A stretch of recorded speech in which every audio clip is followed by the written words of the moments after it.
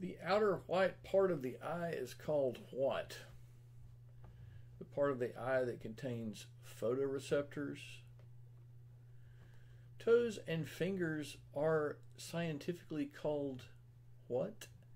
And the muscles located on your chest are the what kind of muscles? I, we might could say the large muscles located on the chest. Maybe we could say that.